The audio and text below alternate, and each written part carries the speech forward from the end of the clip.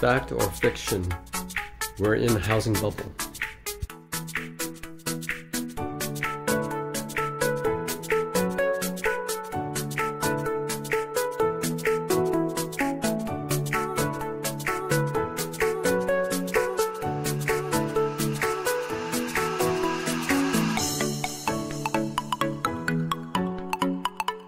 Here's four key factors.